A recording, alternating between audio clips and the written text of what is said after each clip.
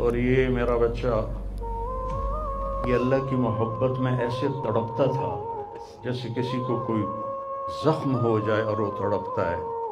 और हम अल्लाह को जानते हैं, मानते हैं, हमारे एहसास में अल्लाह का ताल्लुक शामिल नहीं हम अकली तौर पर मानते हैं। मेरी बावन साल ज़िंदगी अल्लाह के रास्ते में नेक लोग ओलियाए कराम कराम के साथ गुजरी।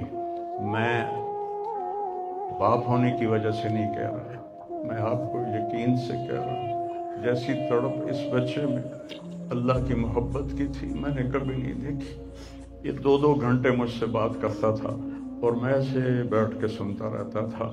बोलने वाला कब सुनता है किसी की बात?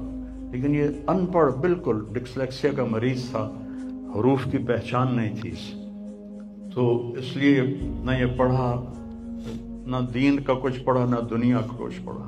लेकिन अल्लाह ने इसको अकल, फहम और अपनी मोहब्बत ऐसी दी थी कि हमें महसूस होता था कि इसके अंदर उस मोहब्बत की आग है।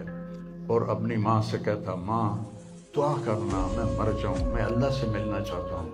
मैं इस गंदी दुनिया से तंग आ गया हूँ।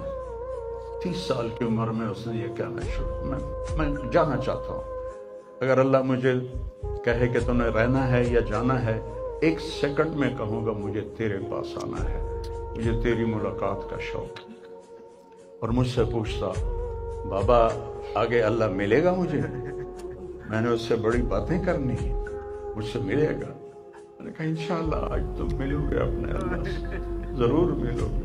तेरी तड़प तेरी तमन्ना रहती थी मैं अल्लाह से मैंने अपनी ज़िंदगी में सिर्फ़ एक आदमी, एक देखा है, ये बच्चा। जिसके एहसास में अल्लाह की मोहब्बत एहसास जैसे हमारे दर्द हमारे एहसास